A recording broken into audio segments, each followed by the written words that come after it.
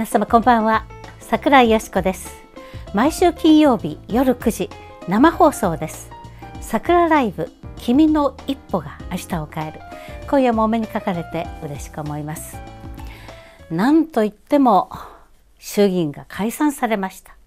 総選挙になります。私は最初はこの選挙は憲法改正につながる北朝鮮の危機を見据えての選挙だというふうに思っていましたけれどもその後のドラマチックな展開でまさに政権選択の選挙となりつつあります。小池さんは何を目論んでいるのか。安倍さんは大義を貫くことができるか。私たちは自分のこととしてこの選挙を考えて本当に真剣に選ばなければいけないと思います。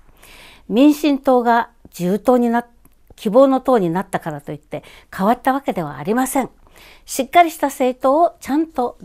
見極めることが大事だと思います。そこで今夜は百田直樹さんをお招きしてこの選挙について語り合います。こんばんは百田さん、はい、こんばんはよろしくお願いいたします。ありがとうございます。いえいえ百田さんこのね、はい、えー、安倍晋三そして百田直樹、はい、日本よ咲き誇れという、はい。まあ、この本、はい、3日に店頭に並ぶんですか、はい、10月3日に発売です、ええ、ただこれはまあ以前にあの対談私と安倍総理の対談集をまとめたものですが、え、まあ、これね改めまして、うん、まあ、私はちょっとまあ今回前書きを付け足しましてですね、ええ。ー、今こそもう一度これを読んでいただいて、まあ、安倍総理がどういうお方かということを、まあ、ええ、皆さんに知ってもらいたいなと思います。いや本当にねあの安倍さんに対してはね非常にこのマスコミのバッシングといいますかね盛りかけ問題だとかっていうところがありますので、うん。はい、やっぱり私もねあのこの選挙を論ずる時今ね、うん、テレビを見てもどこを見てもテレビ欄を見るとみんなあの小池さんの話ばっかりが出てるんですが、はいはい、これは小池さんをめぐる話というよりもそもそも日本国が直面するものすごく大きな危機について、はい、私たちが理解しておかなきゃいけない、この危機ゆえに安倍さんはこの総選挙を踏み切ることを決意したわけですね。そこでまあなかなか国家の機微に触れることもあって、えー、言いにくいこともおありでしょうから今日はその辺からね話を始めたいと思うんですが、あのやっぱり安倍さんがその選挙に、えー、皆さんの芯を問おうと思ったのは北朝鮮危機があるからですよね。もうそれしかないですね。あの、えー、私もまあ先ほどの本の前書きに書いたんですが。えーえーまあ、今回の憲法はですね、まあ、あの一部でねあの左翼マスコミは大義ないとかいろいろ言ってますけど、うん、まあ、実際に安倍さんは口にしないまでも本当の大義というのは憲法改正をどう見るか、ええ、あの日本の本当に日本は今戦後70何年のですねまあ、最大の国難というか最大の危機ですよね。でこれに対して、まあ、本来はもう10年前20年前あるいはそのもっとその前に憲法改正をしてないけなかったんですが、うん、まあなんとなく日本人的な、まあ、何にもないだろう大丈夫だろうということで先送り先送りでここまで来て。でこの先送りの結果、まあ中国の増長それから戦略の危機そして北朝鮮のミサイルがねどうしようもない状況でもうはい、もうまさにこの先送り先送りでも先送り先送りで持ってきてもう今瀬戸際まで来てしまったんですよね。でここにいよいよ本当に憲法改正せないかんと。いやあのね、はい、北朝鮮とね、うん、あのアメリカの関係も言葉の応酬でね、うん、トランプさんとキム・ジョンウンさんもどんどんやっていますけれども、うんはい、実際にその言葉の応酬の水面下でですね、両方ともにものすごく軍事的なその、まあ、ビルドアップをしているわけですね。はい、それからまあそのアメリカが絶対に北朝鮮の核を受け入れられない、はい、ICBM ができるのは、まあ、私たち北朝鮮ならあと1年と思ってましたけどもも、はい、専門家の間ではそんなにかからなくてあと4か月から8か月、うん。うん、ということはねもう来年の夏ぐらいまでにもしかしてできてしまうかもしれないわけですね。そしたらそれまでに絶対アメリカは北朝鮮を軍事攻撃すると見た方がいいと思うんですね。はい、でその時期はいつか、そんなに遠くないわけですね。あの私そう思います。あのまあ、世間のね、ええ、専門家はですね、えー、おそらくまだ大丈夫だと。つまりやる前にはそのいわゆる何らかのサインがあるし、はい、それなりのもんが見えると。例えば、え、総理による米軍の家族が出ていくとかですね、はいはい、まあ、そういうのがあったら間違いなとみんなそう思うんですがそんな誰が見ても分かるような時にやらないですよ。ええ、あのね、えっとまあ、いろんな情報を寄せ集め、はい、あの収集しますとね、はい、やっぱりアメリカが準備をするのに23か月かかるんです、うん、その住民のこととかね、うん、まあ、そのいろんな兵器を持っていくとかですね、うん、えでもそのいつでもやれる状況にもうすでにあると、でただトランプさん11月にあの日本に、えー、い。らっしゃいますよね。はい。まあ、その後と思いますけどね、えー、11月に日本とか韓国とか中国をあれして、その後 APEC があって、えー、トランプさんがアジアを離れる段階つまり11月の中旬以降、何があってもおかしくないと。いうのがまあ専門家の見方ですいや私もそう思います。あの、ね、誰が見てもね、あいよいよやるないうそういうような、ええ、あの前段階は踏まないと思います。そうです、ね、そうなったらね、要するに北朝鮮もわかりますから。ええ、はい。そうした時にね、うん、まず北朝鮮の拉致被害者を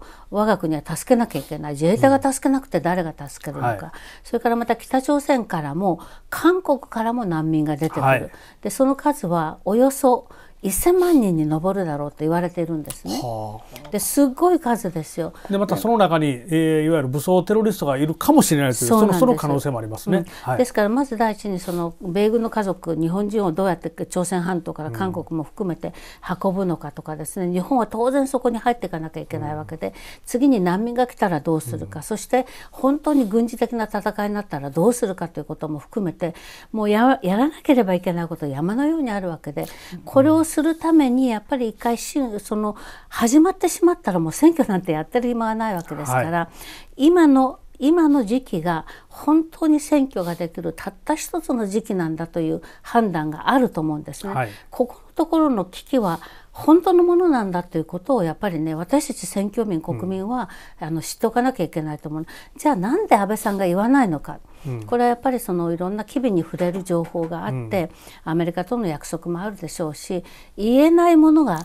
あのね、言えない空気にしてしまったのは左翼メディアですよね。えー、あの今のテレビがですね、えー、そういうことをあの安倍さんが口にできないような空気を春から作ってきましたよね。えー、はい、これ問題だと思いますね。なんかその軍事的なことを言ったり、憲法改正に通じるようなことを言うと、うん、すぐにまあ批判をするということですよね。はいうん、でもね、ごめんなさいね、これって。でもそれでも私は安倍さんは、えー、安倍さんというのはあれです、うん、安倍総理は、うん、えー、今回の選挙に関しては。えこれは憲法改正を問う選挙であるというふうに私はね個人的には私は明言してもらいたかったなという思いがあります。そうですね、はい、日本人にねやっぱそこまで言わないと、うん、やっぱりね、えー、今回は消費税の使い道がどうのこんなん言ってたらねやっぱりねそれをまともに受け取る日本人いますからね、うん、ああそうか消費税の問題かとかね、うんうん、そんな問題じゃない。本当にね多くの日本人に今回の選挙は、えー、国の安全保障がかかった選挙ですというべき、ええ本当は言ってもらいたかったそうです、ね、私は。あの安倍さんも最初はね、まあ、消費税のことを言って、うん、そして最初の時消費税を言ってその後北朝鮮の危機を言いましたね、うん、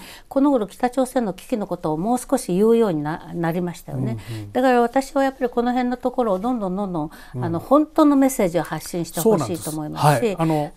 メディアを恐れる必要はないと思います。メディアを恐れる必要もないしやっぱり国民の皆さん方にね、うん、あのみんなで一緒に考えてこの国の在り方、うん、それからこの国の国民、うん、これは拉致されている人も含めてねどうやって守っていくのかということを考えましょうということをあの問題提起してほしい、それで、ね、あともう、私はもう一つ思うのは、えー、今回の選挙は、えー、憲法改正がかかってます、えー、えー、とはっきり言いますとですね、はい、えー、選挙する、まあ、投票する人もですね、ええ、それなりの意識を持って投票しますよね。え、でこれはね、えー、来たるべき憲法改正の国民投票のね、うん、なんていうかう一つの、資料資料じゃないんですけど、見方ができますよね。でこれね、安倍さんね国難突破解散と言いましたよね。うんうん、これ本当にこの文字通りなんですよね。ね。国難がもう本当に降りかかってきているんですよね、うん、北朝鮮問題。さっき朝鮮あの、うん、中国のこともおっしゃいましたけども、そして今ねもう一つの国難はね小池さんのこの動きだと思うんですよ。あの小池さんに追随するね、はい、民進党のあの前原さんの動きだと思うんですが、これも前原民進党どう思いますか？あのその前にですね、はい、あの本当に今回の選挙はもうあのこの日本の5年先10年先あるいはね、ええ、本当に日本の未来がかかった大きな選挙だったんですね。え、でそこが争点やったはずなのに、まあ、小池さんが出てきてですね、その争点が、うんむちゃくちゃ出てしまった感じしますよね。うんうんここにほら希望の塔という 何っていうお顔をしてらっしゃるけれども、はい、そうですね。だからね、うん、あの本当に大事な選挙やったはずやのに、ええ、その焦点が小池さんが引っ掛け回して、うん、その焦点がぼやけてしまってる感じするんですよ。そうなんですね、はい、うん、で私ねその責任はねこの前原さんにあると思うんですよ。前原さんの民進党はね、やっぱりねきちんとしたそのあの党の組織を一応持ってますよね。そしてあのお金も150億円くらいもある。政党助成金とか、ね、政党助成金、まあ、毎年政党助成金が90億円以上入るんですね、うん、あの岡田さんが党首だった時に、まあ、はい、ほとんど使わずに貯めていたということで、はい。まあ、党員が多いですからね。今でも150人近くいますからね、えそうなんですね、はい、でこの方が、うん、あの新しく代表になったけれども党の支持率全然伸びない、はい、だからその民進党の人たちはみんなね、はい、浮き足立っていて、はい、もう次の選挙落ちるんじゃないかということで次から次にこう抜けようとする人たちがいて、ね、あの沈みゆく船からまずネズミが逃げていきますよね、はい、そうですよね。ええ、でところがね、その小池さんが希望の党、うん、まあ、若狭さんたちが希望の党を作った、うん、であの細野さんたちはねもう民進党が嫌で出ていったんだけれども、うんはい、それを見て前原さんがこのお金と、あの大あの議員と全員持っていって連合という労働組合まで持って一緒につけて、えこれを使ってくださいと言ったわけですよ。これはもうね太ったカモがねネギを背負ってね、小池さんの前に歩いていったようなもので小池さんが今これを美味しいところを一生懸命食べてるところだと思うんですよね。この前原さんのこのだらしのなさ、うん、どう思いますか、いやもう党といっても民進党と同じでしょう全く。いやもう本当わけ分かりませんよね、えでしかもですね、うん、えー、最初、まあ、細野さんとか出た時にですね、ええ。えー、民進党は確か前原さんも言ったと思うんですが非常に、まあ、激怒してですね、ええ。えー、許さんと、ええ。ー、対立候補立てる対立候補立てて、え彼らを落としてやろうって言ってね、ええ、それぐらい言ってた、ええ、ところが今それと合流しようというんですからもう言うてることはわけ分かりませんよね。ねそれでね、はい、そのあの小池さんはね、はい、この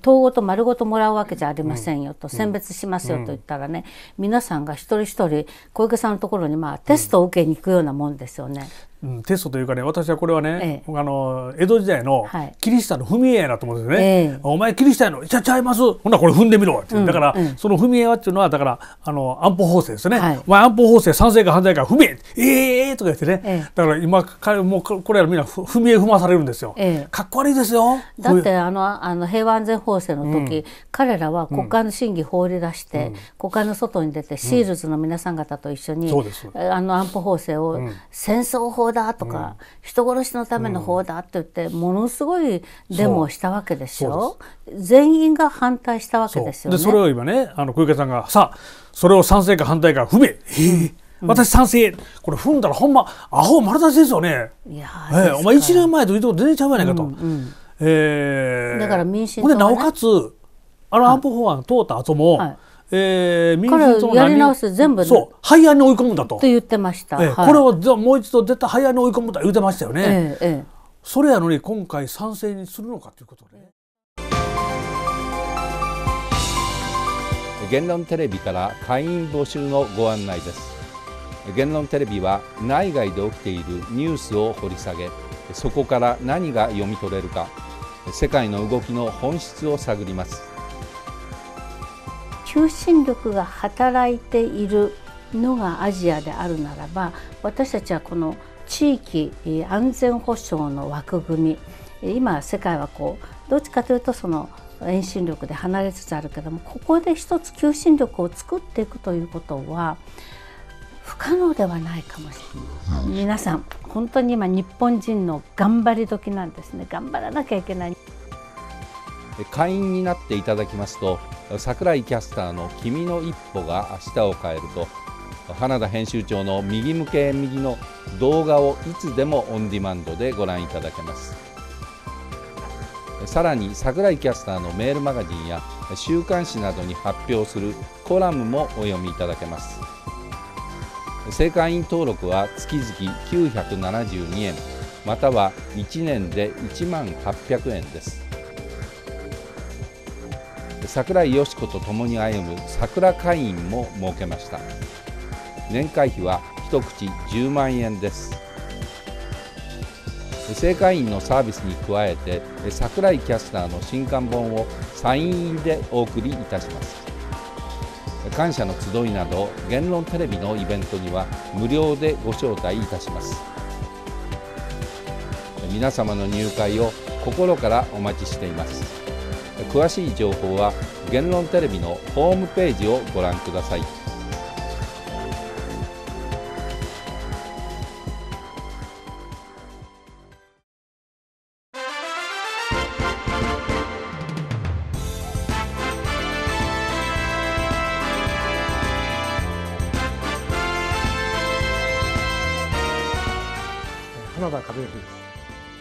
今一番聞きたい人に一番聞きたいことを聞く。右向け右という番組。キャスターは名編集長として知られる花田和義です。花田編集長の右向け右は毎週金曜日夜10時からです。桜井キャスターの君の一歩が明日を変えるに続いての放送です。その吉田長所なるものをねそのしかもその長所を公開しろっていうことをね、ええ、他の長所も含めて朝日は主張してるんだけど、ええ、でも私なんか思うにその長所をじゃあ朝日が入手してね公開しろっていうなら、うん、まずてめえからね、うん、この吉田長所公開したらいいじゃない全部、うん、番組のテーマは今聞きたいことを聞きたい人に聞く。対談ゲストは今話題の旬なゲストをお呼びいたします。金曜日の夜は櫻井よし子の「君の一歩が明日を変える」そして花田編集長の「右向け右」ダブルコンテンツでどうぞお楽しみください。